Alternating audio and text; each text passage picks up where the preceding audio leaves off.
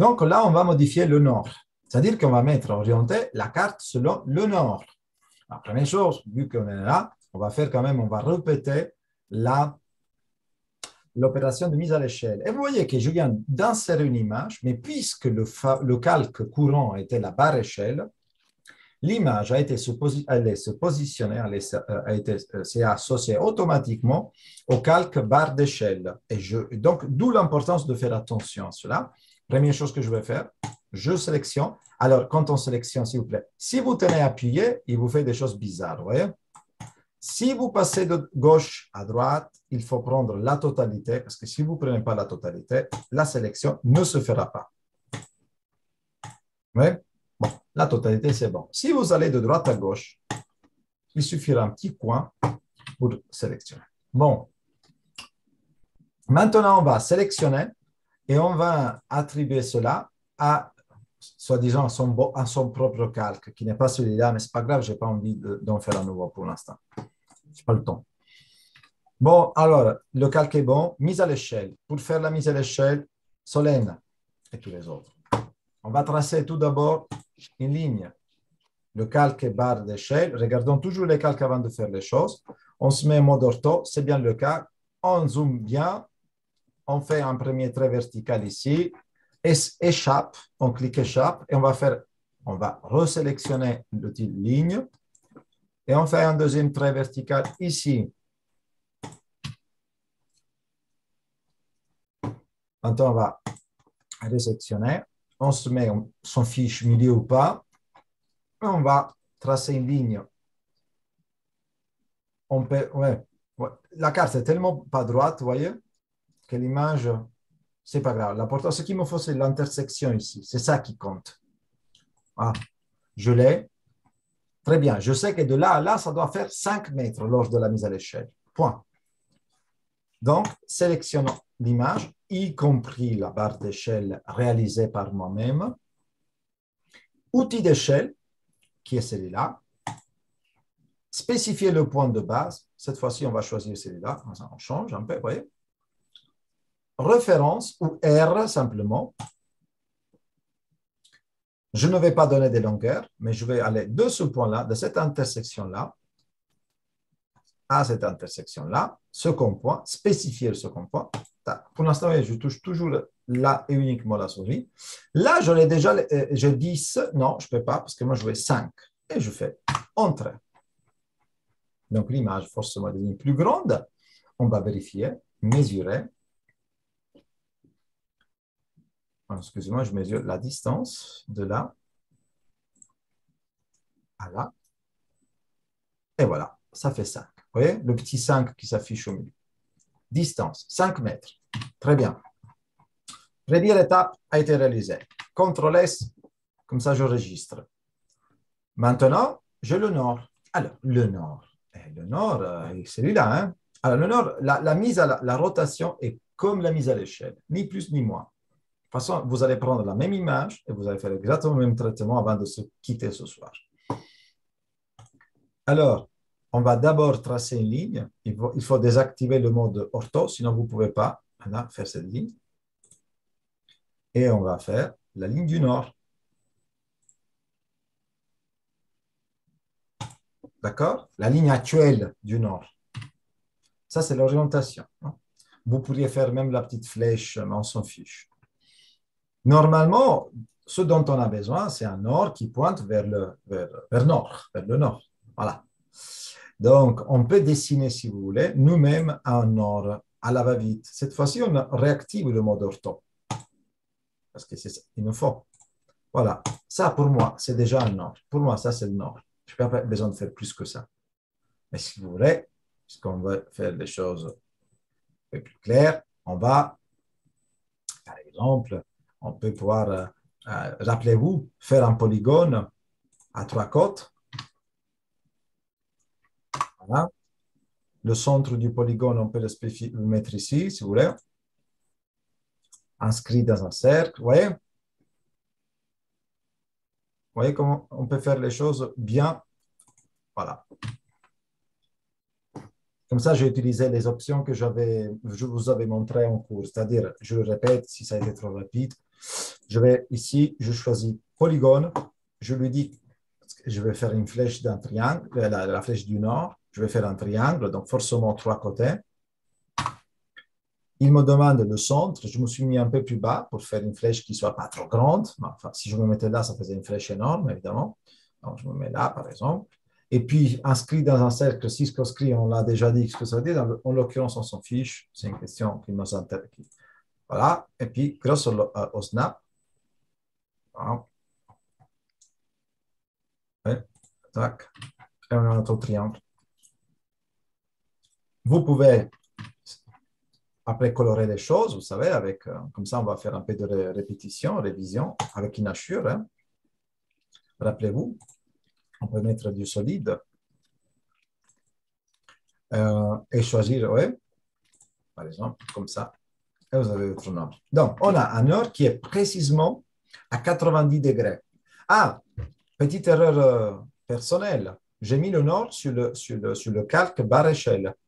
Et non, on va créer donc un nouveau calque.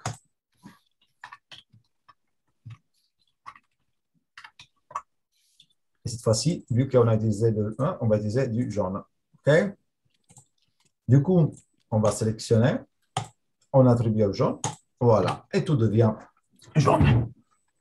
Parce que le calque en question a été paramétré pour être jaune.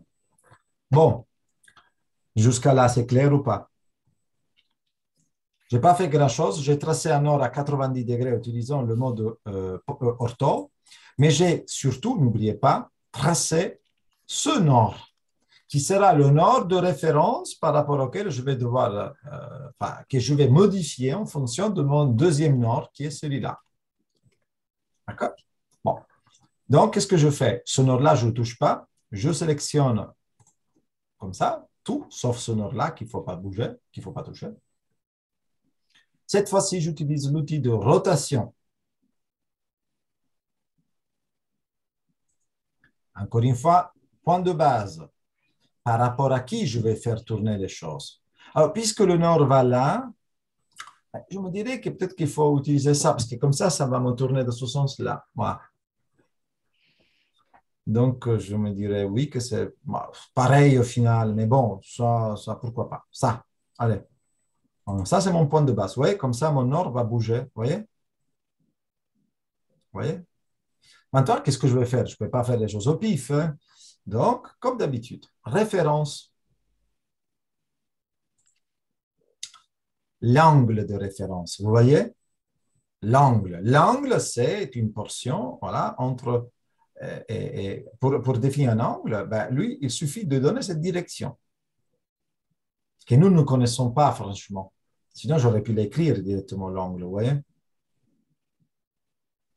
Alors, qu'est-ce que je vais faire? Je vais faire juste de là là. Je clique deux fois, comme l'échelle. Une première fois, là. Deuxième fois, ici. Et là, il va me dire, oui, d'accord, comment tu veux l'angle? Alors, je pourrais écrire directement 90 degrés. Mais je ne suis pas sûr, hein, parce que je ne suis pas sûr, pour plein de raisons. Alors, je vais recliquer deux autres points, le point de début, le point. Ouais, bon. Euh, je, suis désolé, je me suis perdu à la fin parce que j'aurais dû d'abord choisir point. Alors, tant, mieux, comme ça je vais répéter les opérations, parce que c'est vrai que c'est un peu plus compliqué. Sélectionnons toute l'image, y compris le nord, y compris l'échelle, on s'en fiche de l'échelle, de la barre. Rotation, point de base, référence, comme référence, on va lui donner ça. Et maintenant, j'avais oublié de faire ça. Vous cliquez sur point. Sinon, ça ne marche pas. Voilà. Et là, vous allez donner les deux nouveaux points de votre nord. Voilà. Vous voyez? L'image, maintenant, est parfaitement mise à l'échelle et surtout orientée selon le nord. Je vais la prendre. Qu'est-ce que je fais? Je la sélectionne j'utilise l'outil de déplacement, je me mets à la base de mon or et je vais le mettre sur, mon or, à la limite pas forcément. Voilà. Vous voyez? La carte, le raster est à l'échelle, est orienté sur le nord et là, on peut commencer à faire la vectorisation. Bon, là, on va faire autre chose. La rotation. On, l'a fait juste parce que c'est important de connaître à faire la rotation. Mais dans ce cas-là, vous verrez, ce n'est pas nécessaire. Parce que toutes les autres images JP que vous avez téléchargées sont orientées selon le même axe. Vous voyez que le nord est comme ça. Or, on vous a appris probablement en archéologie que d'habitude, d'habitude, les cartes doivent être orientées selon le nord. Ce qui n'est pas le cas ici. Ici, c'est une question, si vous voulez, esthétique, probablement, de compréhension, d'intelligibilité. Mais en réalité, cette carte devrait être pivotée en sens antihoraire. De de combien de degrés? Eh, On ne le sait pas. Et alors, on va jouer encore une fois sur la, sur la fameuse référence, comme pour l'échelle. Vous me suivez? Donc, on va, on va tout sélectionner. Cette fois-ci, on va sur rotation, qui est là. Rotation. spécifier le point de base, comme d'habitude, on prend toujours le même, comme ça on ne va pas s'embêter. Et puis il dit, maintenant donne-moi l'angle. Eh ben, moi je ne connais pas l'angle, je ne sais pas l'angle actuel, donc euh, aucune idée. Je ne peux pas te définir, je ne suis pas Euclide, je ne sais pas qu'est-ce que c'est. Là, ça doit être quoi? 33 degrés, plus ou moins, j'en sais rien. Donc dans ce cas-là, je ne vais pas deviner, je mets R référence à nouveau. Et, et, lui me dit, bah, donne-moi la référence alors. Eh ben, c'est ça, c'est simple. C'est ce segment, parce que ce segment nous donne déjà un angle. Lui, le calcule par rapport à son angle. Voilà.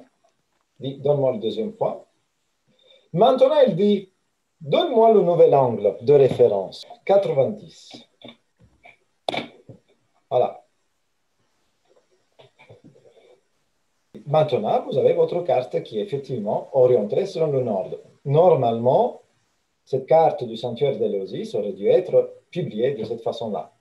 Et donc, toute la légende aurait dû être effectivement euh, agencée selon cet axe euh, qu'on vient de définir. j'ai fait la rotation, après je suis revenu en arrière parce que j'ai besoin de vous montrer une autre chose. C'est pour ça que je me suis limité à ça.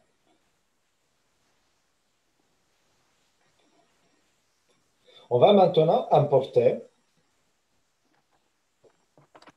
une nouvelle image. Marianne aussi a allumé la lumière. Non, Marianne, ce n'était pas nécessaire, hein, je plaisantais.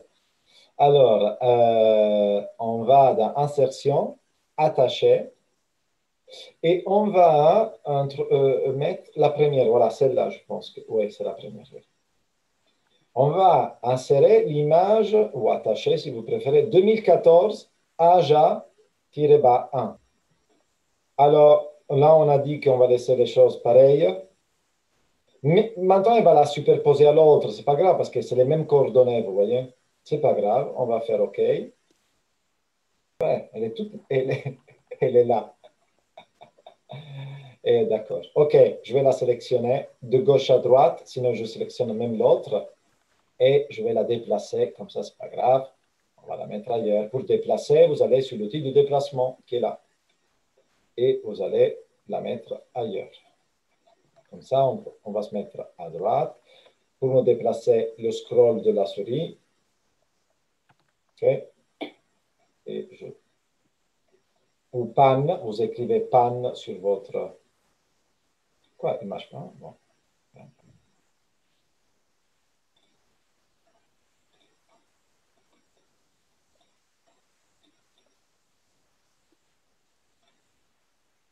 Je vais la faire un peu plus grande déjà, parce que c'est trop petit. Voilà. Ouais, c'est bon. OK, très bien. Maintenant, on va faire la mise à l'échelle. on peut faire deux choses. On peut euh, faire la mise à l'échelle euh, et puis, bah, on va faire la, oui, on pourrait mettre à l'échelle l'une par rapport à l'autre, ou on peut, et ce qui serait bien en réalité, ou sinon, on met à l'échelle cette image-là toute seule Et donc, euh, on va sélectionner. Et on va faire comme d'habitude. Début, mise à l'échelle, point de base, référence. Et là, on lui dit, de ce point-là, on va zoomer, on ne va pas faire de traits rouges cette fois, comme ça on ne perd pas trop de temps. Mais vous avez compris de quoi je parle. Je me mets en mode orthomonde, comme ça je n'ai pas trop d'inclinaison, orthomonde. Et je vais mettre à la fin du point noir, voilà. Et maintenant, je dois lui donner la distance, 10 mètres. Voilà que l'image est à l'échelle maintenant. Pour, pour, info, pour ceux qui ne l'auraient pas compris, euh, on parle de cette image, euh, de ce bâtiment-là, hein, du Mégaron. C'est là, c'est celui-là, c'est le même. Oui, mais pourquoi euh, vous êtes en train de faire ça? Parce que ça, c'est une image juste des, des, des, emprises des bâtiments, tandis que là, vous avez déjà défouillé d'autres informations sur ce plan. C'est ça que les archéologues font la plupart du temps.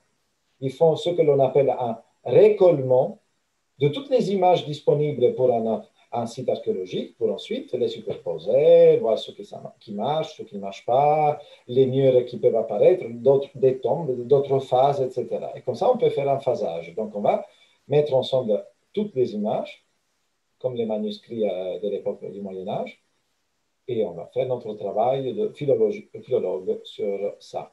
Donc, maintenant qu'on a la, carte qui est à l'échelle, notre plan qui est à l'échelle, on peut le mettre on peut, le, euh, on peut faire deux choses. On peut le déplacer directement sur l'autre, ou on peut faire les choses petit à petit.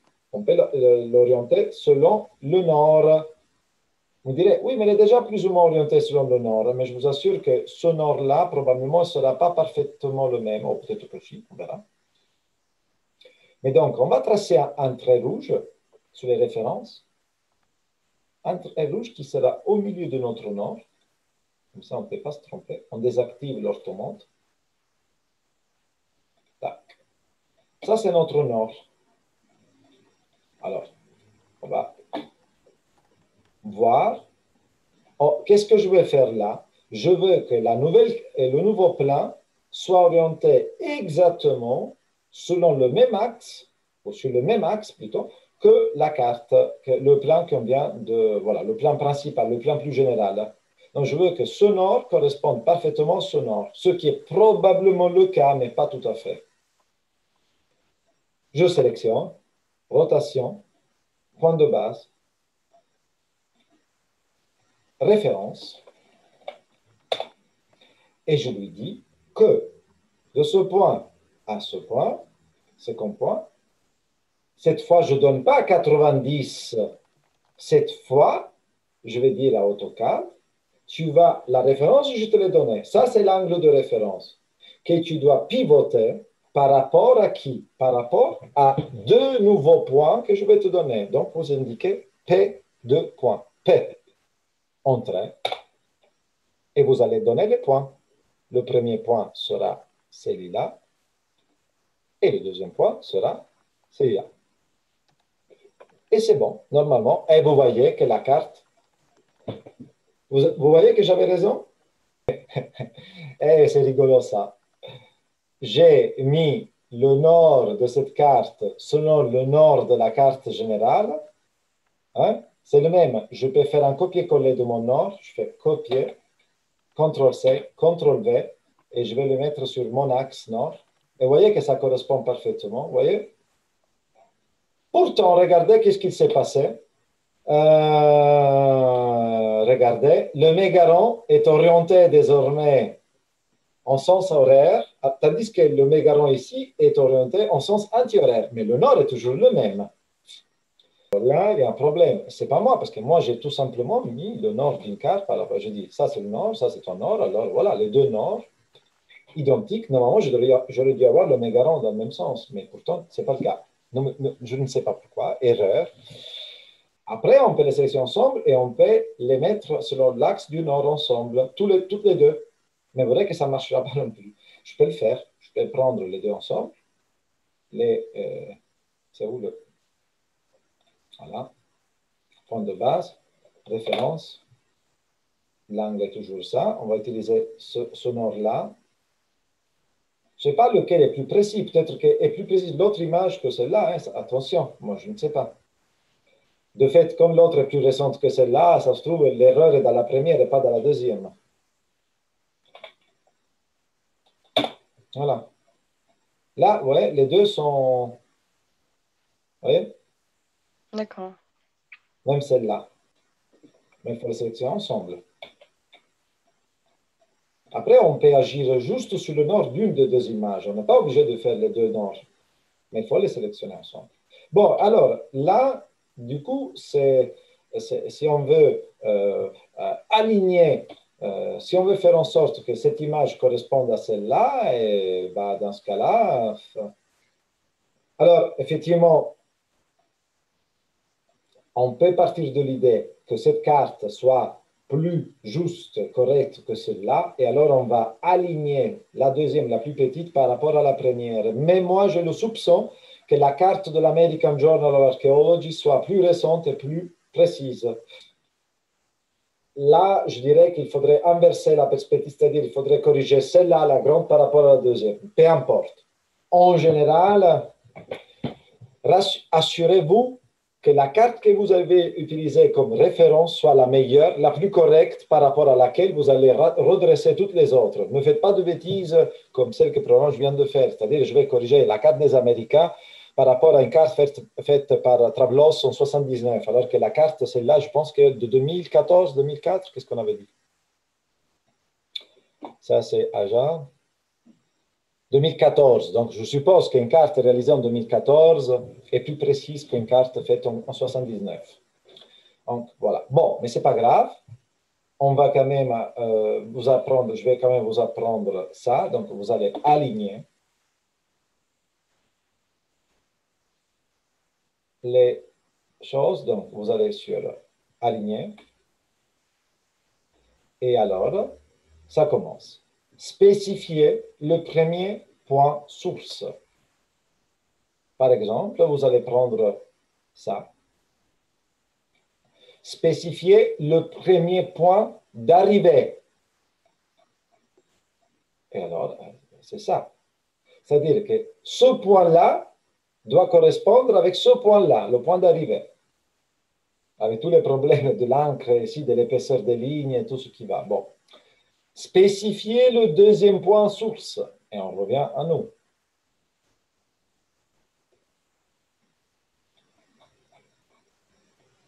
Et spécifier le deuxième point d'arrivée. Vous pouvez également donner un troisième point si vous le souhaitez. Sinon, vous faites continuer. Donc, normalement, si je clique sur Entrée, alors là, une fois que vous avez cliqué sur Entrée, vous pouvez également procéder à une autre étape, la mise à l'échelle du premier objet par rapport au deuxième objet. Normalement, la mise à l'échelle a été déjà faite, mais si vous ne l'aviez pas faite, vous aurez pu la faire maintenant. On va dire non et on peut essayer éventuellement avec un autre, un autre plan, avec un oui. Bon. Pardon. N, non. Voilà. Regardez, comme par magie, plus ou moins, les choses plus ou moins marchent, plus ou moins. Hein. Euh, alors, qu'est-ce qu'on s'est rendu compte qu'il y a un alignement, mais que ça ne marche pas tout à fait. Alors, on va prendre notre image, celle-là, et on va, oups, oui, le nord aussi, pourquoi pas, et on va éventuellement la déplacer. Donc, on prend, on va sur l'outil de déplacement, on va se mettre sur cet angle-là et on va se déplacer ici. Il y a toujours de la rotation à faire, de la mise à l'échelle qui n'était pas bien faite. Oui, mon échelle n'est pas, pas correcte. Vous voyez, il y a un problème, il y a plusieurs problèmes. Il y a un problème d'échelle. Donc, la chose que l'on peut faire, je me mets là, et je vais remettre à l'échelle l'une par rapport à l'autre cette fois-ci et pas par rapport à l'échelle. Donc, je prends celle-là et je fais euh, évidemment sélectionner échelle, point de base, comme d'habitude, référence, pas de longueur, on va lui donner des points cette fois-ci, et les points plus justes, c'est ça, on va lui donner les points externes. Hein. Un point, un point. Et là, il dit, donne-moi la nouvelle longueur. Et non, je ne te donne plus de longueur, vu que ça, rien ne marche, je vais donner les points. Alors, OK, dis-moi les points. Il dit, OK, je veux que, que les nouveaux points, c'est de là à là.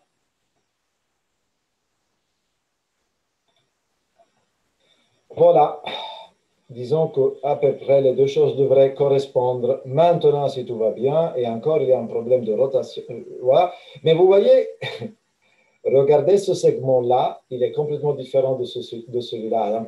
on peut se casser la tête, mais on on n'aura jamais la perfection. Voilà. Bon, on peut travailler à la limite sur le petit mégaron et encore euh, sur le saquelon qui est à l'intérieur. Et peut-être que comme c'est une forme plus régulière, on devrait s'en sortir là-dessus. Mais voilà, on peut sélectionner maintenant notre objet. On peut se mettre sur cet angle-là. Bah, plus ou moins. Et je vais faire disparaître et apparaître voir. Ouais, super. Euh, d'accord. Bon, il y a encore un petit peu de manipulation à faire. Vous voyez, le mégaron, le sakelum, il correspond presque parfaitement si les Américains ont fouillé en 2014, ont produit une nouvelle documentation, je suppose qu'ils ont utilisé la station totale et tout, alors que John Travlos ou Ioannis Travlos, il utilisait encore euh, ces outils théodolites à l'ancienne, et donc il a pu se tromper. Sans doute, d'autant plus que ça, son plan, c'est un plan qui est énorme, à une grande échelle, alors que l'autre, c'est un plan de détail. toutes ces considérations, il ne faut pas les négliger, et par ailleurs, la carte de l'American Journal que nous sommes en train d'utiliser est tirée directement d'un article en ligne, en PDF, tandis que la carte de Trablos est le fruit et le résultat d'une numérisation. Il y a encore des effets de déformation qui peuvent se produire. Moi, je voulais vous apprendre surtout à faire ça et je pense que quand on se trouve face à ces cartes qui posent pas mal de problèmes, c'est bien parce que soyons sincères, nous tous nous sommes confrontés à, ces problèmes. Ça relève de l'utopie d'avoir toujours une cartographie parfaite, on ne l'a jamais. C'est bien de savoir trouver la solution, de savoir trouver le compromis. Et, voilà. Puis, vous pouvez vérifier si les distances sont bien en utilisant un peu les côtes, faisant les côtes, voilà, les mesurations, les distances. Comme ça, on est bien. On sait, on sait que ça fait 10 mètres. Là, par exemple, je suis sûr que si on va faire maintenant la côte alignée, parce qu'on est un peu décalé et on va faire la côte alignée de ça. Ah, et oui, voilà, on va avoir quelque, un peu plus que 10 mètres. Vous voyez que j'ai dû l'agrandir. Alors que là, j'ai 100 mètres, là, j'ai 10 mètres 45 et ça aurait dû faire 10 mètres tout court. Ce n'est pas le cas, parce que je l'ai agrandi, si vous avez vu tout à l'heure. Donc voilà, il y a un problème. Donc les codes peuvent permettre aussi de corriger un peu ce genre de choses.